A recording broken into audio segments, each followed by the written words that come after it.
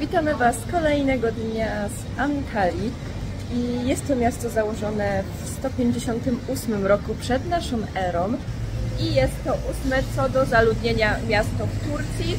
My jesteśmy już po e, dwóch autobusach i po tramwaju slash metro, nie wiem dokładnie co to jest, więc dosyć długa droga to była, ale już jesteśmy e, w obrębie Starego Miasta trochę sobie pozwiedzamy, a kolejną rzeczą będzie oceanarium z najdłuższym na świecie tunelem, więc będzie się dzisiaj działo. Mamy nadzieję, że wszystko ogarniemy, nie pogubimy się i jeszcze chcę wejść do sklepu LC Waikiki.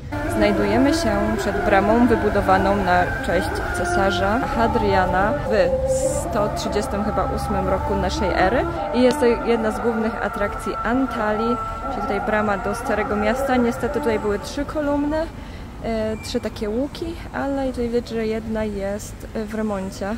Ile ptaków tutaj sobie siedzi gołąbki.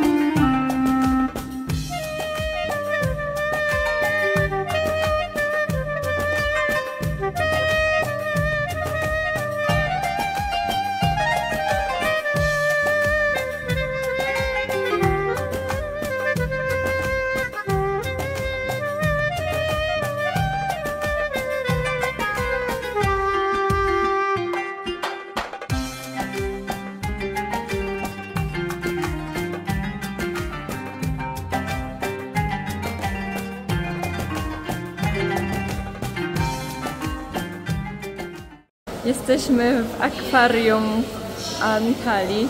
Kosztowało nas to dwie osoby około 300 zł, czyli 150 zł od osoby.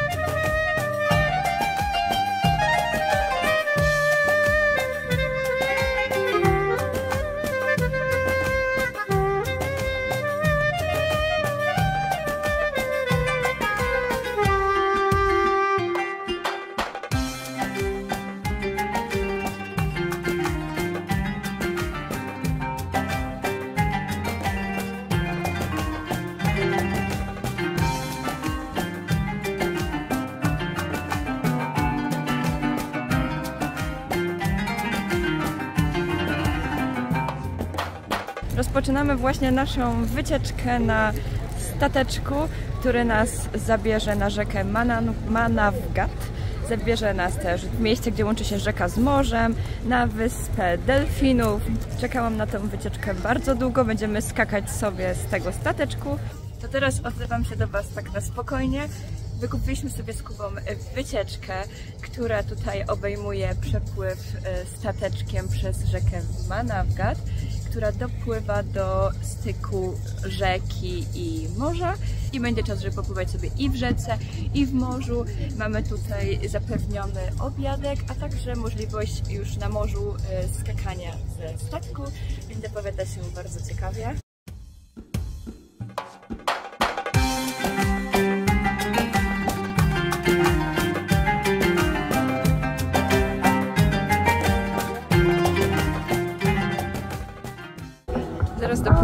Do miejsca, gdzie rzeka wpływa do morza. Zobaczcie, tutaj z tyłu widać morze.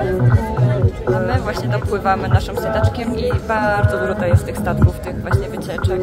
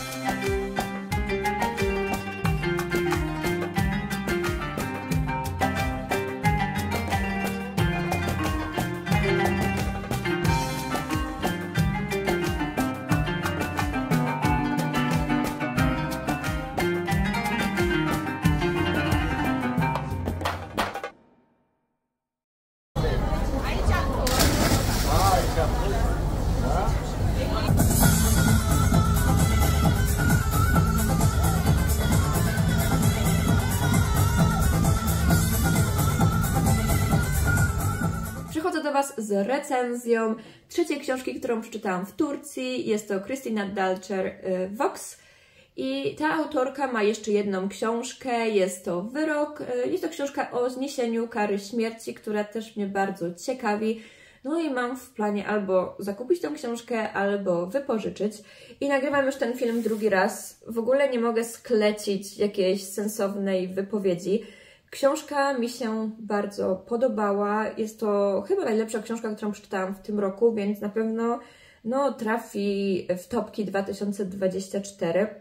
I jest to feministyczna dystopia. Słowa, które e, mam w głowie przy czytaniu tej książki, jest to wykluczenie, dyskryminacja, terror, rządy mężczyzn. Jest to świat, w którym kobiety dostają na nadgarstki bransoletki, no i mogą wypowiedzieć 100 słów na dzień. Każde kolejne słowo to jest impuls elektryczny, który za każdym razem staje się coraz mocniejszy, co może doprowadzić do śmierci. Więc no, kobiety praktycznie nie mogą dyskutować na żaden temat, porozmawiać z mężem, y, z dziećmi. Praktycznie to jest tylko tak i nie, gdyż język migowy też jest zabroniony. Po prostu chodzi o to, żeby kobiety nie miały żadnego prawa głosu. Kobiety straciły możliwość wykonywania zawodu, y, wszystkie stanowiska przejęli mężczyźni. Bransoletki zakłada się już małym dziewczynkom od trzeciego miesiąca życia. E, W szkole dzieci są podzielone, chłopcy mają normalnie, normalne zajęcia, dziewczynki mają takie zajęcia związane z prowadzeniem domu, jakieś proste rachunki, żeby mm, no, umiały policzyć budżet rodzinny, żeby umiały zapłacić w sklepie. W nowym społeczeństwie bardzo ważna jest e, religia. E, Głównym, główną osobą w kraju jest wielebny, który praktycznie wszystkim zarządza. No i próbuje tutaj przelać swoje, swoje pomysły, e, swoją wizję świata w młode umysły, dlatego już od początku dzieciom wmawiane jest to, że tutaj mężczyzna rządzi, że mężczyzna jest górą i trzeba mu usługiwać, no a kobiety są od sprzątania, gotowania, e, szycia, zajmowania się dziećmi, zakupami, no i, no i mają być z tego dumne, bo rzekomo jest to najważniejsza rola na świecie, czyli usługiwać i rodzić. Oczywiście ma to swoich zwolenników i przeciwników. No i nasza główna bohaterka Jane jest właśnie tego przeciwniczką, jest ona naukowcem, ale na chwilę obecną siedzi w domu, gdyż nie może wykonywać zawodu. E, ma z mężem Patrykiem czwórkę dzieci, trzech synów i jedną córeczkę, która także ma założoną bransoletkę. No i pewnego dnia e, przychodzi do niej wielebny z tutaj e, propozycją współpracy.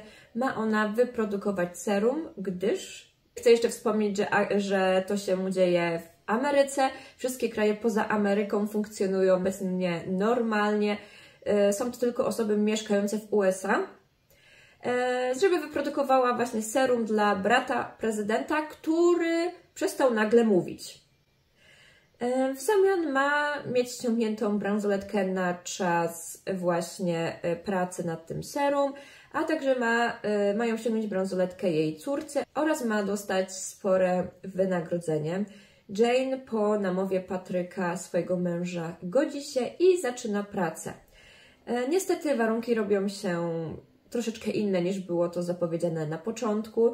Pracuje ona praktycznie dzień w dzień, no i każą skrócić im czas do tygodnia, przez co no raczej nie nacieszy się ściągnięciem bransolety. Dochodzą także do tego, że serum nie ma być e, dla brata prezydenta, tylko ma być użyte do innych rzeczy, które niestety mogą nawet zniszczyć świat no i Jane razem ze swoją tutaj ekipą trochę się tego obawiają, jednakże zostają oni zmuszeni do, e, do kontynuowania pracy. Jak można się domyśleć, trafiają do grupy rebeliantów i zaczynają walkę z systemem, walkę z wielebnym i z próbą naprawienia świata, z próbą wrócenia do normy. Książka trochę skupia się na tematach naukowych. E, ja tego jakoś za bardzo nie odczułam, chociaż słyszałam jedną opinię, że było tego za dużo i ja uważam, że, że to nieprawda. Był tylko jakby skrót y, tego, jak wygląda laboratorium, czym się y, zajmują i jak produkują to serum. Książka jest bardzo mocna, jest to bardzo smutna wizja przyszłości, w której zaczynają dominować mężczyźni. Mam nadzieję, że tak się nie stanie, bo to naprawdę było przerażające. Mamy tutaj dylematy moralne, nie chcę za bardzo się zagłębiać e, w fabułę. E, chciałabym, żebyście po prostu odkryli ją sami, jeśli zdecydujecie się przeczytać tą książkę.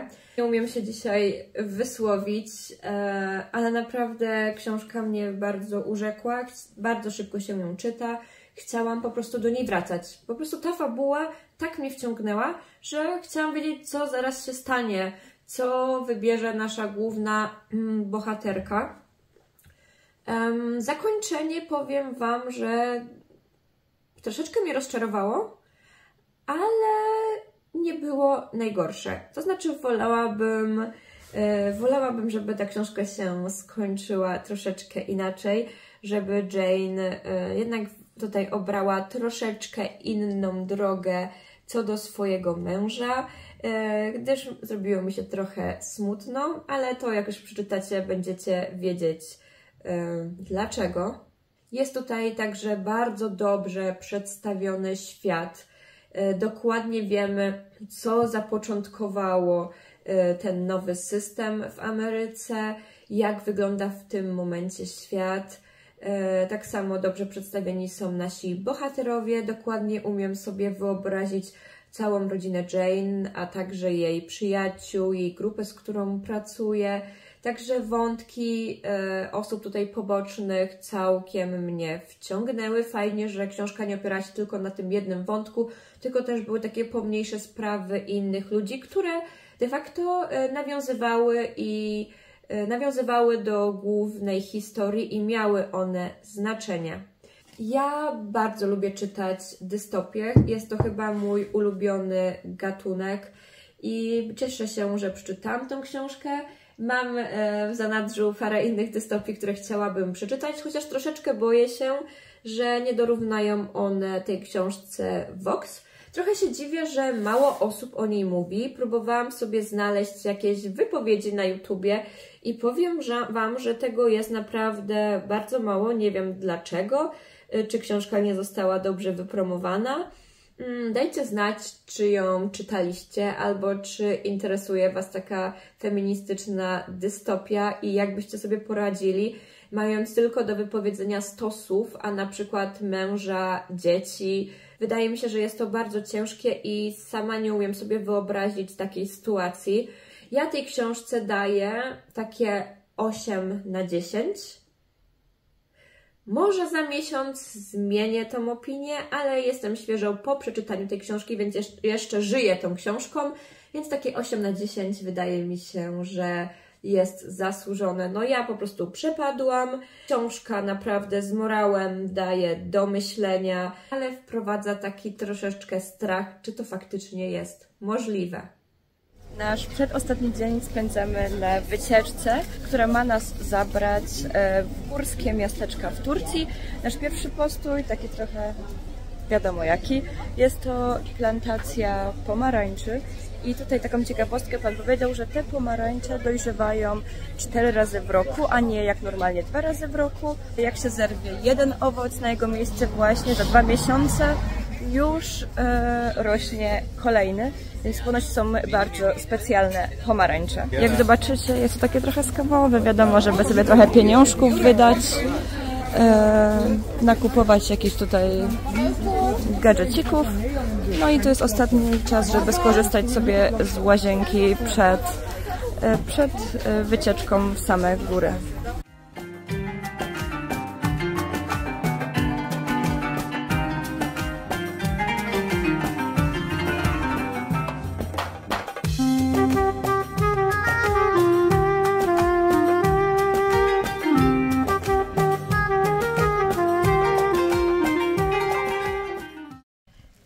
Naszej pierwszej wiosce i według naszego pana przewodnika mieszkają tutaj same kobiety. E, w tej wiosce w ogóle jakby nie ma pieniędzy. E, w sensie, że nie ma jak zarabiać, więc jak widzicie, każde domy mają tutaj swoje małe plantacje. E, no i ponoć mieszkają tutaj same kobiety. Już widzieliśmy trzech panów. Raczej chodzi tutaj o to, że po prostu mężczyźni pracują w miastach, więc jadą do miast, a kobiety czekają w domu, prowadzą ogródki, zajmują się zwierzętami, zajmują się dziećmi, a mężczyźni właśnie pracują, wyjeżdżają i później sobie jak skończą pracę przyjeżdżają, więc no to to nie jest tak prawda, że tutaj nie ma mężczyzn, po prostu mężczyźni raczej nie pracują tutaj. Zatrzymaliśmy się na punkcie widokowym, tam w oddali widać Zielony Kanion i Zielone Jezioro. Znajduje się tam elektrownia wodna Tama i e, z tego miejsca zasilane jest Side i Manavgat, właśnie w którym mieszkamy. Chyba nie wspomniałam, znajdujemy się w górach Taurus i są to najdłuższe góry w Turcji. E, ich długość to chyba około 2760 km, tak powiedział nam pan przewodnik. I teraz znajdujemy się e, w domu jednej z rodzin, która mieszka właśnie w górach. E, ponoć około 14% ludności tutaj w Turcji nadal mieszka w górach. Ta rodzina mieszka tutaj przez cały rok, wiosna, lato, jesień, zima, nie mają wody. E, jest to rodzina czteroosobowa, rodzice i dwójka dzieci i przynoszą sobie wodę właśnie na osiołku, którego Wam nagrałam, e, półtora kilometra w jedną stronę. I tak sobie właśnie żyją.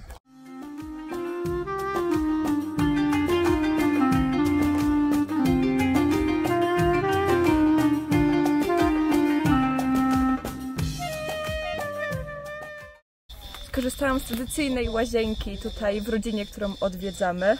Oni nie mają tutaj wody, nie mają kanalizacji, a łazienka prezentuje się tak i powiem, że dałam radę, bo to jest tak jakby sobie pójść w krzaczki.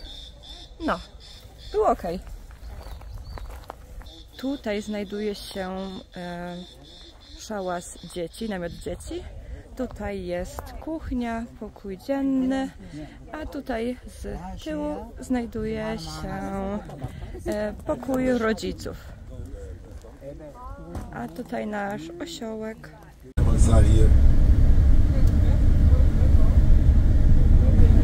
Now our next stop is uh, another village. It calls the name of the village is Ürünlü.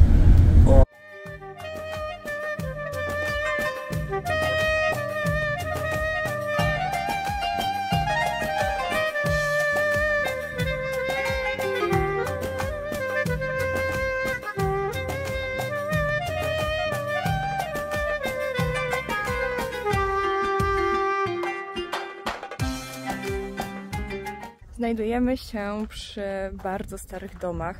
Mają one około 850 lat i dalej są zamieszkałe przez ludzi i wybudowane są ze skały wulkanicznej, dzięki czemu zimą, kiedy jest tutaj 1-2 stopnie, w środku jest e, cieplej, a teraz latem, kiedy jest upał na dworze, dają one chłód.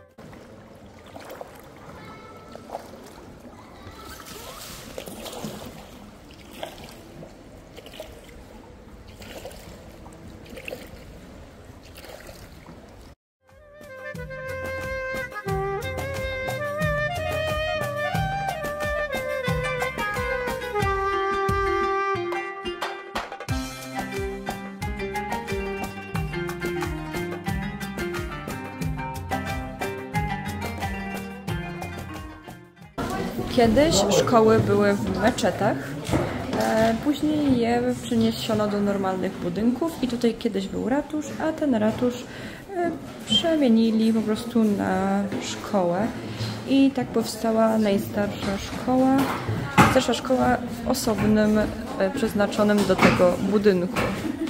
Ciekawe, czy ta tablica jest tak stara jak cały budynek.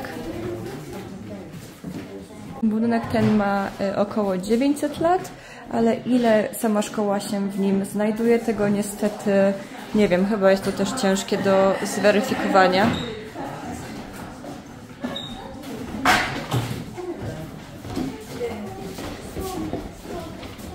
Tutaj chyba były lochy, gdzie dzieci trzymano. Nie no, żartuję sobie.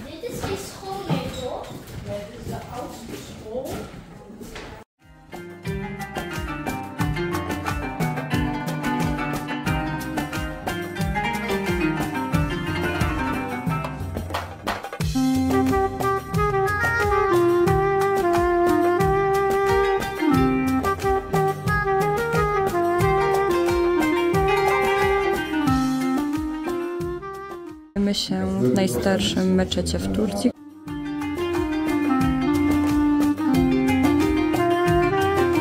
Znajdujemy się teraz przed tradycyjnym domem ludzi, którzy właśnie mieszkają tutaj w górach.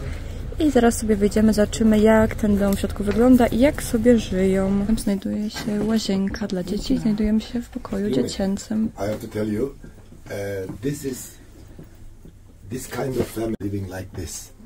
This is their life. They don't know other life. No. This is the bathroom. Uh, Kinderbadezimmer. Und früher in dem football, watching Znajdujemy football, się w we are eating salonie. chips, No, yeah? yes. But we are eating uh, Yes, dry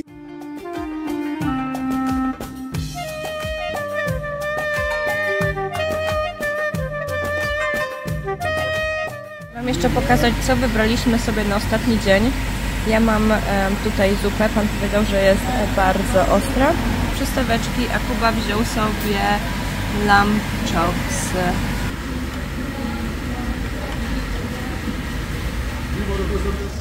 Pokażę Wam, jak jeszcze na koniec próbują e, zedrzeć z nas pieniądze. Właśnie wracamy do Antalii, e, z której mamy lot. Przyjechał po nas e, busik, no i zabrał nas w jakieś dziwne miejsce. Jest tutaj w ogóle więcej tych busików. Jeden tutaj z tych mniejszych to jest nasz. Po to, żeby prawdopodobnie wydać sobie jeszcze pieniążki, które zostały. To jest taki skam, że aż nie mogę. No, wsiedliśmy dopiero do samochodu, 10 minut przyjechaliśmy, no i już zrobili tą przerwę. Już myśleliśmy, że po prostu jedziemy prosto na lotnisko, a tutaj jeszcze taka niespodzianka, że dodatkowa, bezsensowna 15-minutowa przerwa. Witamy w Turcji. A tak wygląda w środku to miejsce, gdzie się zatrzymaliśmy. Jak widzicie, praktycznie nikt tutaj nie wychodzi, wszyscy siedzą w autobusach, no bo no, każdy chce już wracać, a nie jeszcze wydawać pieniądze na jakieś podróby. Wszyscy, którzy mieli już coś kupić, to już kupili.